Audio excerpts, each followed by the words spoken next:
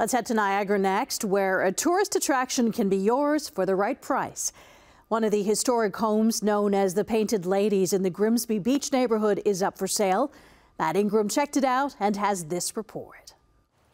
With eye popping bright colors, intricate woodwork, and ornate decorations, this is the Cotton Candy House of Grimsby Beach. Built in 1876, part of the Methodist uh, church that used to come down to this area and vacation and such. The Victorian style cottage was built around 150 years ago as a vacation property on land gifted to the Methodist Church. But decades ago, this one bed, one bath, roughly 950 square foot home was turned into a work of art with shades of pink, purple, and teal and unique decorative features. You don't see stuff like this very often. Ziggy and his girlfriend live in one of the many other painted ladies in the community and say the wild style began with just one home. Our friend Ed you know, moved here in the 70s and he did it to his house and other people have followed suit. And then it kind of took off and more people got into it. Jim Berry has owned the Painted Lady across the street for 50 years and says tourists often come to see the colorful homes. I love talking with them. I've showed them my house.